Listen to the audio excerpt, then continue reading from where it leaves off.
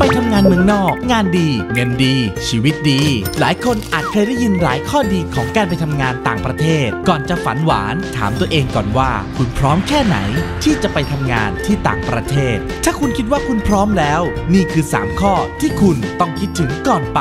ก่อนไปทำงานต่างประเทศ ต้องแน่ใจว่ามีเอกสารครบถ้วนติดตัวไป การไปทำงานต่างประเทศอย่างถูกต้องมี 5 วิธี แจ้งเดินทางด้วยตนเอง บริษัทจัดหางานเป็นผู้จัดส่ง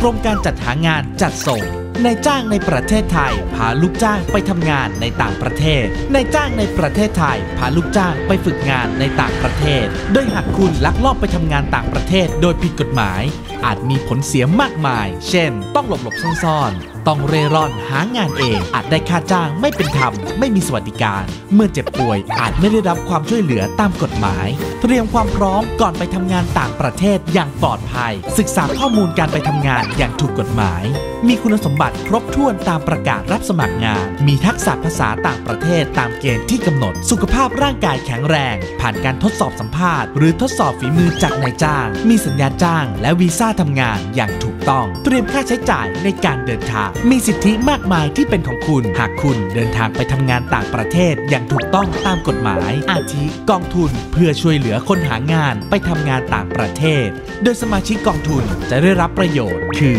ช่วยให้สมาชิกที่ถูกทอดทิ้ง หรือประสบปัญหาได้กลับภูมิลำเนา ให้การสงเคราะห์สมาชิก หรือทายาทสนับสนุนกิจกรรมคัดเลือกทดสอบฝีมือและฝึกอบรม โดยคุณสามารถสมัครเข้าร่วมกองทุน เพื่อรับสิทธิ์ได้ที่กระทรวงแรงงานโดยกรมการจัดหางาน หรือสำนักงานจัดหางานจังหวัดทุกจังหวัดจำไว้นะครับว่าก่อนไปทำงานต่างประเทศต้องทำทุกอย่างให้ถูกกฎหมาย เพียงเท่านี้คุณสามารถไปทำงานเก็บเงินสร้างเนื้อสร้างตัวได้อย่างสบายใจไร้กังวล